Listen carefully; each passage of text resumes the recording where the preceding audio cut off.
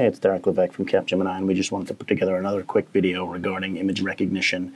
Uh, we added some functionality to the chatbot that made it able to recognize images based on an upload. So you can ask it, hey, can you find this product for me? Um, and then it'll ask you to upload an image, and it's going to then search the database and see what can it can find. So here, we're going to upload a series of images uh, three of which have very similar packaging to kind of demonstrate the difference between the three. This is a 12 pack of Bud Light cans. The chatbot can then analyze that image and search the database and come up with a, uh, an item that says it's a 12 pack can of Bud Light, tells you what segment it's in, gives you back some ranking information, some sales information.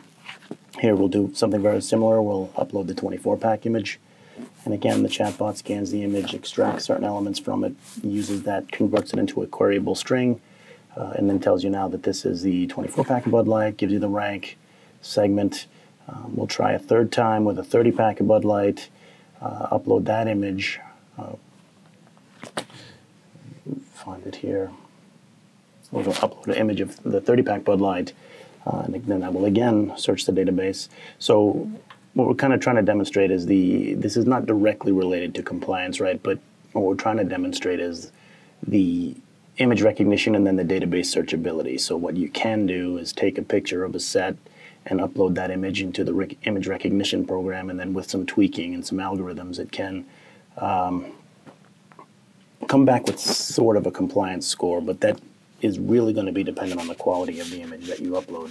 When you take a picture of a section, you're going to have some things that just don't appear in that image. So we've got to cross that bridge and figure out a workaround for that. But the ultimate goal of the image recognition is working. Stella Artois 12 pack here comes back, segment information, net sales, and then lastly, we're going to upload a Shock Top image, uh, variety pack, have it query the database, and come back with some uh, stats about that item. So definitely five for five as far as workability. Um, the only hurdle is really going to be that uh, that image of the set that you don't get as a high quality image. But I hope you enjoyed the video.